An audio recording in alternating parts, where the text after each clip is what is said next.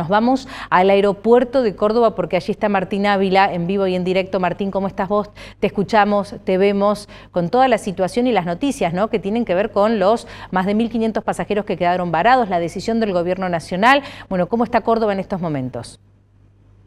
Hola Ale, buen día para vos, para todos los televidentes. Sí, Intercargo también funciona aquí en Córdoba, porque esa era la primera pregunta. A ver, ¿Intercargo solo funciona en Buenos Aires? No, funciona en todos los aeropuertos que maneja, el que tiene a cargo Aeropuertos 2000, que están en, toda la Argentina. Por eso eh, eh, decían del monopolio, para que vean, estamos en la puerta de arriba. Acá en instantes va a aterrizar un vuelo de aerolíneas argentinas proveniente desde Buenos Aires hacia Córdoba. Eh, pues ya hay algunos familiares que verán por ahí esperando a, que lleguen. Eh, pero aquí en Córdoba eh, la situación no ha llegado al punto que ha pasado en Buenos Aires.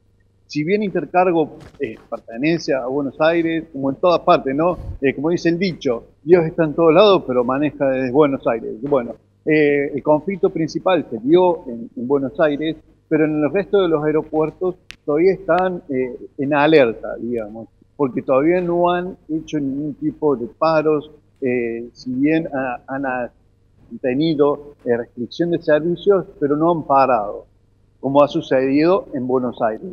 Por el momento, aquí en Córdoba, los vuelos, tanto de ida como los que vienen hacia aquí, están llegando de, de forma normal.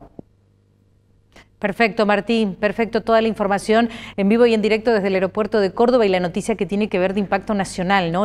se cerraría Aerolíneas Argentina de acuerdo a lo que ha informado el secretario de Transporte de la Nación, Franco Mojeta, en esta situación que se están enfrentando eh, eh, directamente con los gremios y con estas tomas que también terminan siendo muy injustas para los usuarios, para los pasajeros. Te mando un gran abrazo, Martín. Gracias por estar allí.